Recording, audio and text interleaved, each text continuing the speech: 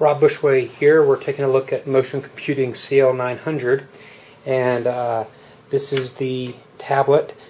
It's a 10-inch tablet, but we're going to be taking a look at it in the dock today. Um, so this is the docking station.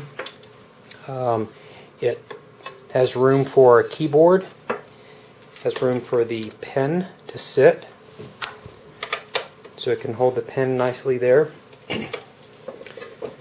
It actually sits at a at a nice angle, so that if somebody is at a uh, countertop or um, like a nurse's station or something like that, it has it at a at an angle. Unfortunately, it can't tilt to maybe provide a different angle if somebody needs to do handwriting or something like that while they're sitting down.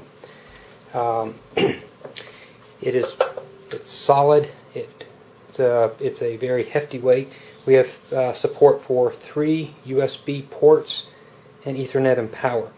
Unfortunately, there's no uh, VGA, DVI, or HDMI or mini HDMI ports out here for the docking station. So you either need to have a monitor that is USB equipped to actually run video, actually run monitor through through a USB port, or you're going to have to purchase about a fifty to hundred dollar USB adapter. That to me has been a major oversight um, that they did not equip this with some standard video support.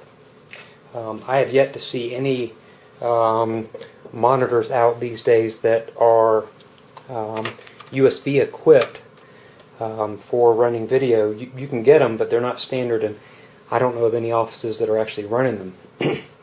One of the uh, frustrating things about about this uh, about this docking station is that it's it doesn't seat in the docking station fairly securely.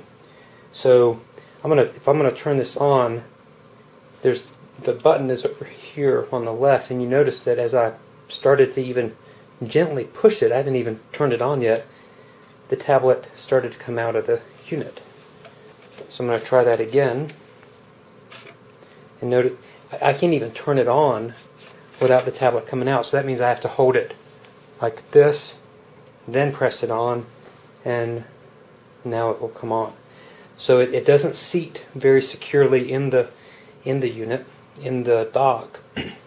so those are the two downsides of, of the docking station I found is is that the seating isn't isn't strong. Um, it, it comes out of the docking station very easily and plus there's no standard um, external monitor support. There's plenty of USB ports, but no standard monitor support there. So that's a quick look at the docking station. Um, I think Motion could have done a better job in um, setting this guy up because if you're going to have a docking station, um, if you're going to have a slate, you're almost certainly going to have to have need of a docking station if you're going to use this as your own um, standard computer. So um, I suggest that on this next rev that they do at the docking station, if they in fact do one, that they include standard monitor support and they work on this issue. So anyway, Rob Bushway taking a look at the docking station for the CL900.